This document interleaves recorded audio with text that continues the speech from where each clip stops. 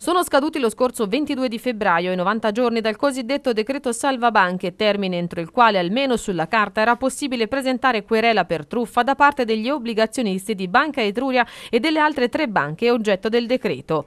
Da allora di acqua, anzi di carte, sotto le mani di avvocati e associazioni di consumatori ne sono passate tante. Le querele singole sono circa 300, mentre i risparmiatori che si sono rivolti a Federconsumatori Arezzo sono 1500, un numero destinato ad aumentare secondo secondo il presidente Pietro Ferrari. Teoricamente scadono i termini, in quanto eh, sono 90 giorni che è stato approvato il decreto e quindi si va al 20 di eh, febbraio come data ultima. In realtà eh, la querela uno la può presentare, secondo il mio parere, ma anche secondo il parere di alcuni legali, dal momento in cui viene a conoscere che ha ricevuto una, effettivamente un danno, un raggiro o una truffa, come, come, come si suol dire. Perché, questo quando è che lo può eh, venire a sapere. Nel momento in cui, per esempio, legge i documenti, mi vengono consegnati alla banca documenti, perché dobbiamo partire dal presupposto che parecchie di queste persone, quasi tutte le persone, non hanno mai ricevuto la documentazione dalla banca. Quando uno riceve un MIFID e vede che ci sono dei dati alterati, in quel momento gli è stato attribuito un profilo più alto di quello che lui viceversa,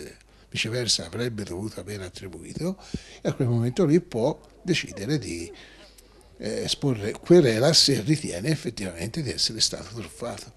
Perché abbiamo trovato la documentazione durante, nel, nel, nel, nel corso dell'esame della quale ehm, si vede che ci sono che, pa, palesemente delle alterazioni. Io faccio un esempio tanto per intenderci.